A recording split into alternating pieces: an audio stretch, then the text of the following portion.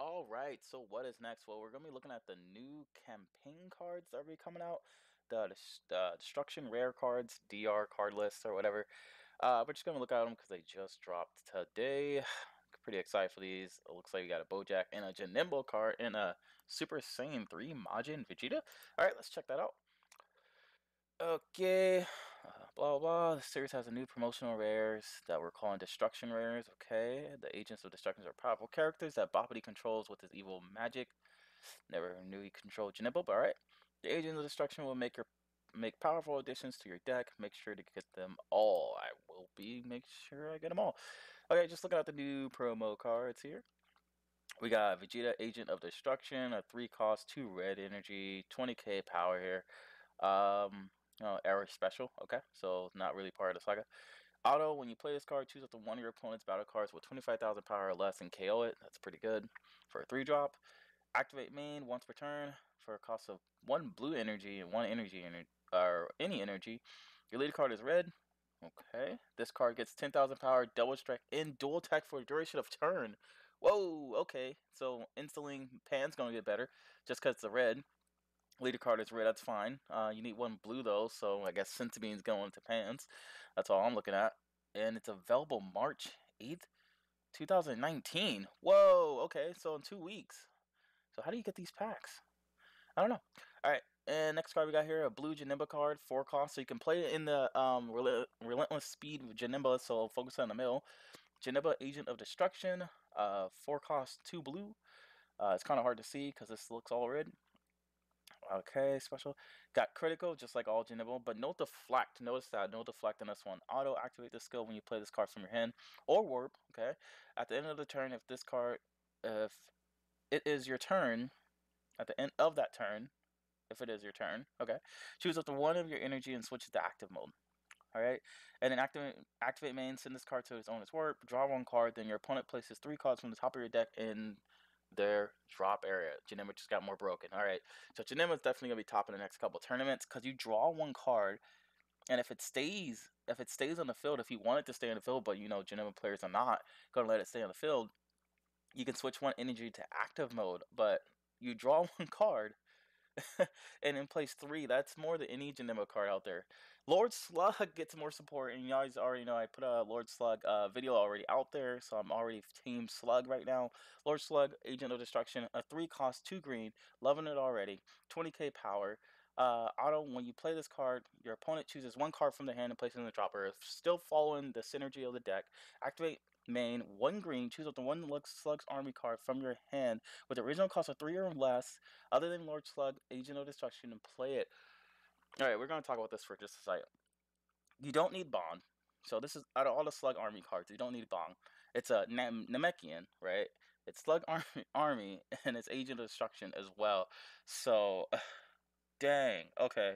When you play this card, your opponent chooses one card from their hand, still following the synergy of the deck and you can still do you not okay i don't know if you guys play lord slug but if you have the lord slug combo you can actually bring this card because it's not safe from your hand when you play this card so you can play this card from the drop by dropping the big lord slug from the drop and you can you can use that green it's just it's broken at this point it's broken because uh, like once you play that get this guy and then use pay one green because when you drop the four drop lord slug you can untap one energy uh, just from that untap a green energy, pick this guy from the drop area, then tap that green energy, and then drop the uh, another Lord Slug or a Slug Army card.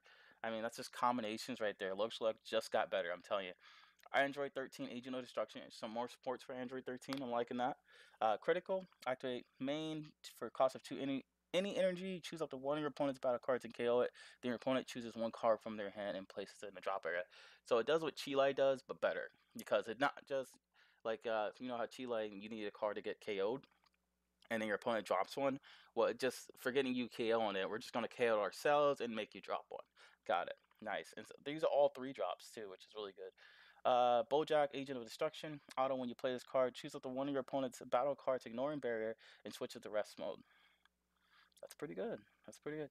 Activate main 2 energy. Uh, if this card is in rest mode, rest mode, choose your opponent's leader card and switch it to rest mode, and it can't be switched to active mode until the end of your opponent's next turn. So these are all three. That's pretty good too. Oh, wow. Uh, if this card is in rest mode, choose your opponent's leader card, switch it to rest mode. and It can't be switched to active mode. Whoa, that's the first card that actually targets the leader that uh from from locking your leader uh your opponent's leader down. Hmm. That's pretty good.